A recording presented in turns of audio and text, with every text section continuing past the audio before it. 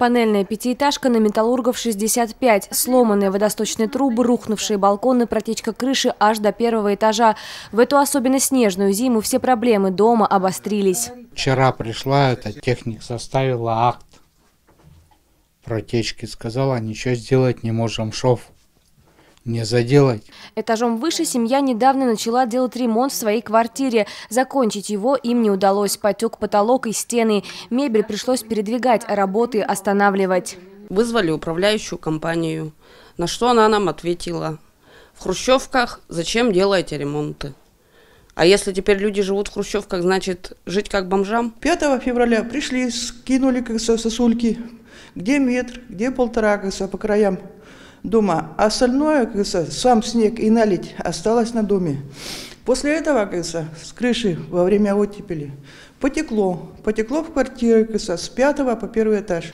В офисе управляющей компании «Гарант Сервис» начальство на месте не оказалось, поэтому ситуацию нам прокомментировали только по телефону. Капитальный ремонт запланирован и утвержден уже на данный момент департаментом э, ЖКХ и фондом капитального ремонта на 2019 год. Ну, соответственно, это будет, э, скорее всего, весенний-летний, да, такой осенний период. На данный момент пока в управляющую компанию документов сметных не предоставлено. А вот в доме на коллективной 6 от постоянных протечек и сырости в квартире страдает многодетная семья. У Анны Мануиловой трое детей, младшей девочки всего 11 месяцев. Перед Новым годом Анна сделала ремонт в квартире, но вода с крыши за две недели уничтожила все ее старания. Женщина рассказывает, в квартире настоящий дождь. Приходится закрывать почти всю комнату клеенками. Тяжелый запах, тяжело то, что ей все охота, ей все надо схватить, ничего нельзя.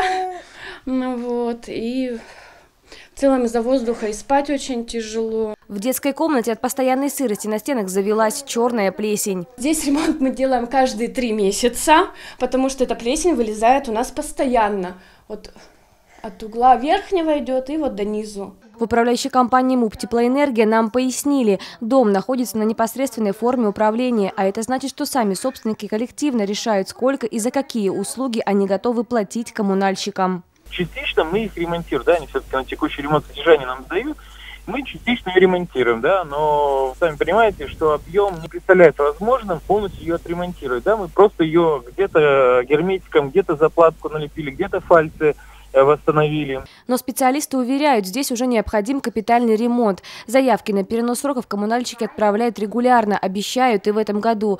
Но так как собираемость средств у дома низкая, сдвинуть сроки капремонта маловероятно. В тех ситуациях, когда вина в коммунальных бедах все же на стороне управляющей компании, необходимо обращаться в суд. Главное – вызвать коммунальщиков и составить акт. В нем подробно указать все повреждения и уже на основе этого акта направить в управляющую компанию претензионное письмо. После чего управляющей компании есть определенный э, временной промежуток для э, дачи ответа на претензию. Если ответ на претензию не получен, соответственно, э, то э, у потребителя, э, у гражданина, э, чью квартиру затопило, появляется право обращения в суд.